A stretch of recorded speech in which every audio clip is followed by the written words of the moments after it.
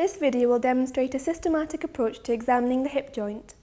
It will also give examples of pathology which may be found in examination of an abnormal hip. The hip joint is a ball and socket joint. It is rarely involved in extrinsic trauma, but is often affected by intrinsic trauma, frequently fracture of the neck or femur. Chronic conditions such as osteoarthritis also commonly affect the hip joint. Pathology in the hip can present with pain referred to the knee, whilst the hip itself can be the site of pain referred from the spine. Examination of the hip joint uses a look-feel-move system designed by Apley. This system ensures that all parts of the joint are thoroughly examined and pathology is not missed. As with any examination, wash your hands, introduce yourself, correctly identify your patient, gain consent, and ask about pain. First of all, ensure adequate exposure. Ideally, one joint above and below should be exposed. With the patient standing, look at the anterior, lateral, and posterior aspect of each hip joint. When looking at the skin, there may be erythema overlying an inflamed hip joint. Scars from previous surgery may be present. These could be from the anterior, lateral, and posterior ports of a hip arthroscopy or a scar on the lateral or posterior aspect of the joint from a hip replacement. When looking at the soft tissue, there may be wasting of the gluteal muscles. This can occur if the superior gluteal nerve is damaged during hip surgery. It is difficult to see any of the bony structures of the hip, as the joint is deeply buried under muscle. An increased lumbar lordosis may indicate a fixed flexion deformity of the hip, commonly due to osteoarthritis of the hip. Check whether the patient uses any walking aids. Ask the patient to walk and look at their gait. One example of an abnormal gait is the Trendelenburg gait. This is a waddling gait, where the patient's body sways sideways, to and fro, when viewed from the front. This is due to weakness of the hip abductor muscles, forcing the patient to use their trunk muscles instead to lift the pelvis high enough to swing the leg through. If the hip joint is painful, the patient may display an antalgic gait, with a short stance phase on the affected side.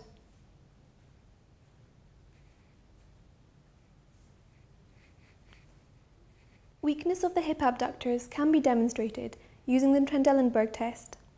Ask the patient to stand on both legs facing you and to place their palms on top of your palms. The patient is asked to stand first on one leg and then on the other leg. The test is positive if when the patient tries to stand on the affected leg, the examiner feels a firm push downwards from the patient's hand on the contralateral side.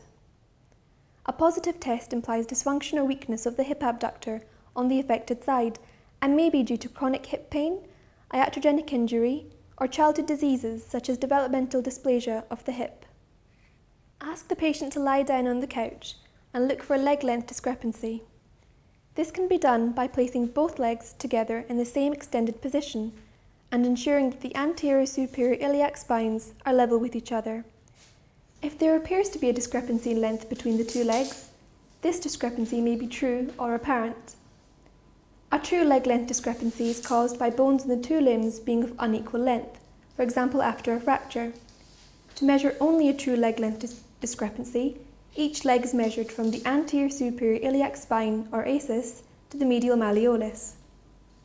To determine which bone is responsible for the shortening, both knees should be bent up to a right angle. The knees should then be looked at from the side. If the femur short on the shorter leg lies lower, then the shortening is below the knee. If the tibia on the shorter leg lies further back than the other leg, the shortening is above the knee. An apparent leg length discrepancy is caused by joint deformity, for example a fixed flexion deformity. This is determined by measuring from the xiphisternum to the medial malleolus of each leg.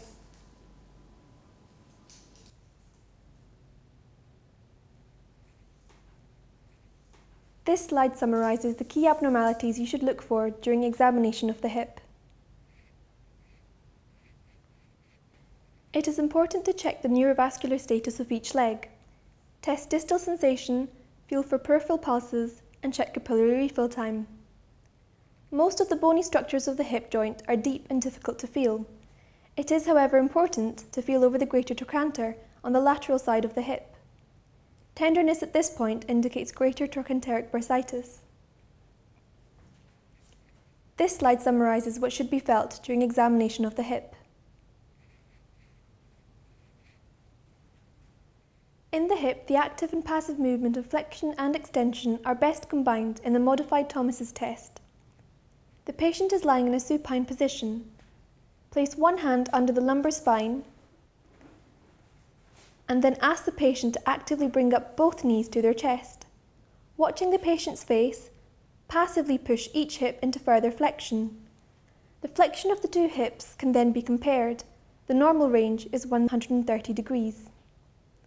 The patient is now asked to hold the affected hip flexed by locking their hands around the shin. The other leg is now carefully extended as far as comfortable. Pressure should continue to be felt in the examiner's hand under the back, and the hip should be able to extend fully so that the leg lies flat on the couch. The normal leg is then flexed back up again as far as possible and held there by the patient. The abnormal hip is now allowed to extend, carefully watching the patient's face until it will no longer extend any further. If the pressure on the examiner's hand under the back lessens, this suggests that the patient has a fixed flexion deformity and is compensating by lifting the pelvis in order to extend the leg. The angle the femur makes to the couch in full extension should be noted. Rotation of the hip is always limited in the extremes of flexion and extension due to tightening of the capsule. It is therefore important to test rotation of the hip at mid-range by flexing the hip and knee to 90 degrees. The tibia can then be used as a lever to test internal and external rotation, watching the patient's face and comparing the two sides. Be aware that external rotation of the hip is tested when the foot is moved across the body and should normally be about 45 degrees. Internal rotation of the hip is tested when the foot is brought out to the side and should also be about 45 degrees. Reduced internal rotation is an early sign in osteoarthritis. In order to test abduction, place your forearm across the patient's pelvis, with the tips of your fingers resting on one ASIS and your forearm resting on the other closest to you. Abduct and adduct each hip, and note the angle when you feel the pelvis starting to move under your hands. Normal range of abduction is 45 degrees, whilst adduction is 30 degrees. Special additional tests include Faber and Fadir. Faber is an acronym which stands for the position of the hip during the test, flexion, abduction, and external rotation.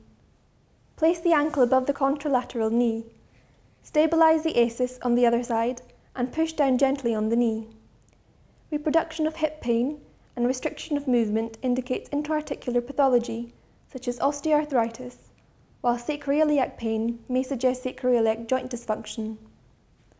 The Fadir test involves placing the hip in flexion, adduction, and internal rotation. Reproduction of anterolateral hip pain during the Fadir test is a sensitive indicator of femoroacetabular impingement. This slide summarises the normal range of movement at the hip joint and special tests which may be performed. The key points to remember when examining the hip are to first look at the joint with the patient standing, walking and lying down. Examine the neurovascular status of both limbs and feel over the greater trochanter. Determine the range of movement at the joint. Always remember to compare one side with the other and watch the patient's face to avoid causing further pain. To complete examination of the hip, the lumbar spine and knee should also be examined. If pathology is detected, appropriate imaging should be requested.